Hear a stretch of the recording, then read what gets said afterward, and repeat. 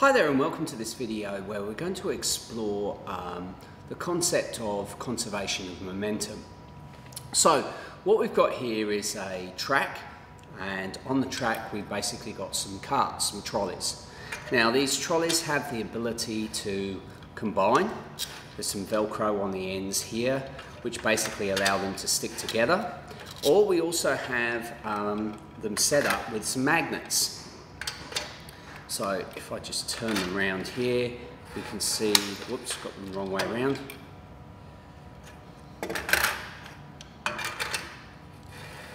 As we can see, there's no, there's no actual um, collision which, which occurs. It's just the, the magnets working together. So what I'm going to do is uh, just try and demonstrate exactly what happens with respect to conservation of momentum the concept that um, energy has got to be conserved. Because energy has got to be conserved, so does momentum. So you think about kinetic energy, half mv squared, you think about momentum, mv, all of those components have that v, that v in there, which is the energy, and it's going to be passed on from one um, cart into the other. So let's set up a variety of scenarios and then we can um, explore what's happening with respect to conservation momentum and what we knew or what we learnt in the theory. So first off, what I'm going to do is I'm just going to have a stationary cart and I'm going to use the magnets in this case because what it's going to do is give me um, an elastic collision. Elastic collision means all the energy should be passed on to the other object.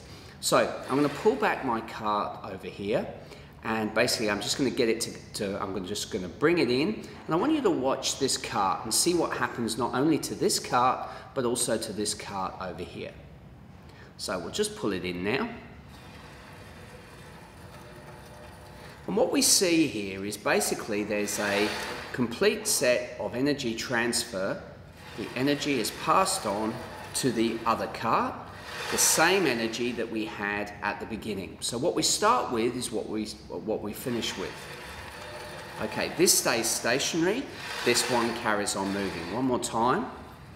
So note that when the, this um, cart comes in, as it's coming in, it's got momentum, mv, and what happens is that momentum is then passed on to this cart. Noting that it's having the same mass, the velocity here should equal the velocity over here.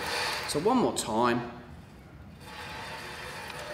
And we see that that velocity is virtually the same as this one. Now on this track it actually has a ruler and I could measure the distances and the times and I could convert that into um, working out the overall velocity.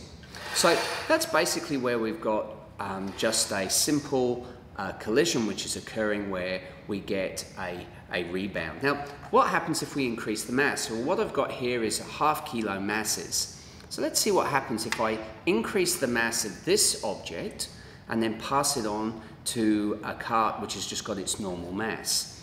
So I'll take it back, pull it in. Notice what happens to the velocity. Coming in, the velocity of this card is a lot faster than the velocity of this card. Why is that? Well, basically the energy from this car, as it's coming in, because it's got a large mass, it's going to have a smaller velocity. But due to conservation of energy, small mass means that it's got to have a larger velocity. That basically means that um, energy is being conserved. So one more time, see it moves off incredibly quickly. So let's see if this happens all the time for masses. I've got another mass here, which I'll put it in.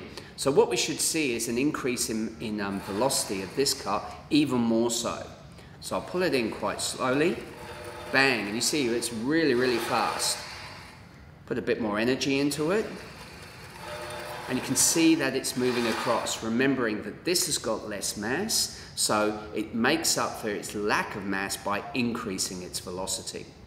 Okay, so that deals with basically just our transfer with respect to rebounds. So what I'm going to do now is I'm going to turn these around. So basically I'm going to deal with coupling.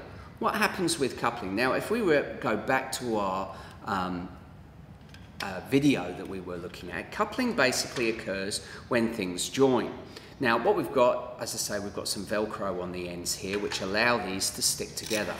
So energy of conservation is still, of momentum is still going to apply. Now what's going to happen is the mass is going to increase as this cart comes in.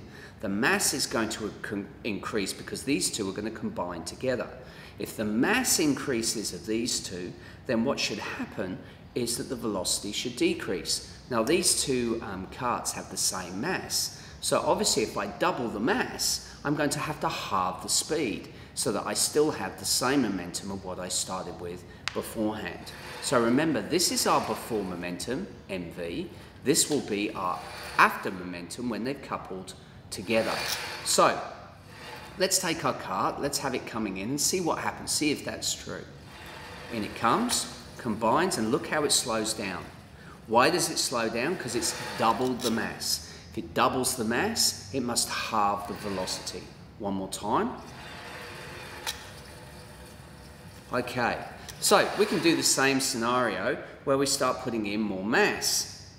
Okay, what happens if I have more mass, which is applied with the, with, um, with the cart?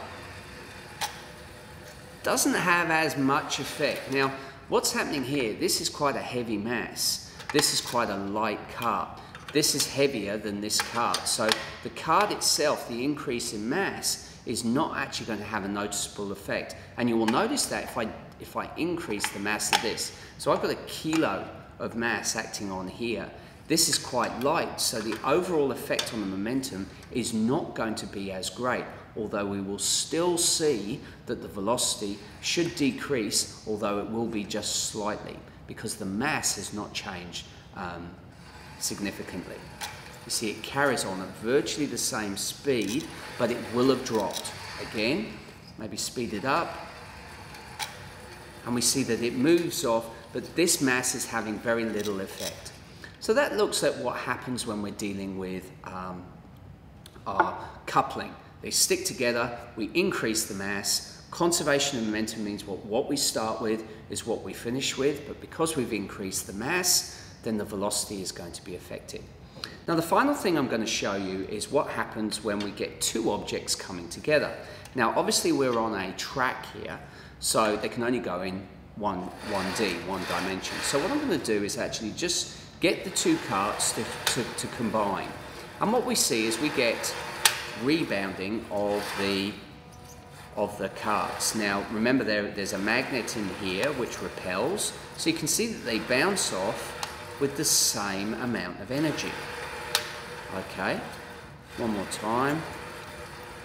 Lovely. So you can see it moving, bouncing off quite, quite happily. So basically what we're going to do is we're going to add a mass here. We're going to put it in the middle.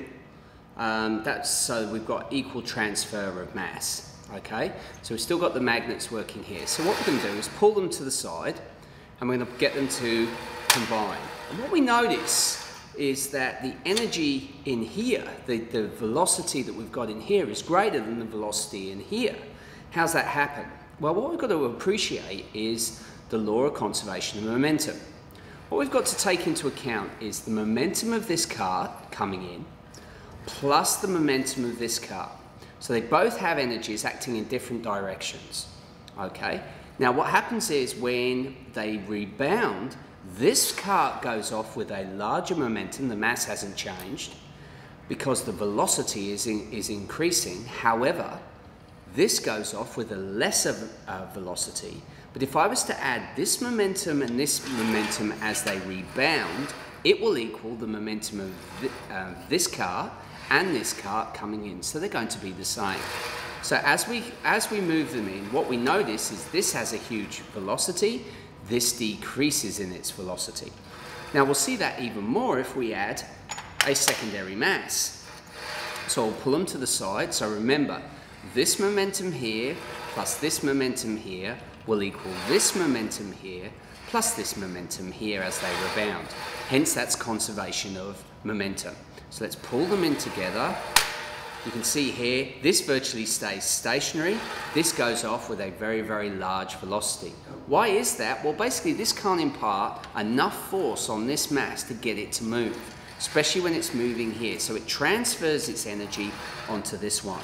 Now, if you imagine these are two cars, or a car and a truck, the result is there's going to be more change here than there is on this one because it, requires more force to do the change. So now you can start implementing Newton's second law, F equals ma, where you've basically got the idea that in order to cause a change in velocity, you've actually got to imply a force. Well, it's easier to imply a force on this one because there's less mass. So as this comes in, it's going to apply a lot more force on this object, hence it's going to change its velocity. Okay, well I hope you found that useful. Um, join me again for more videos where we're going to be looking at our senior physics concepts and um, yeah, I look forward to you seeing them, seeing you then. Bye for now.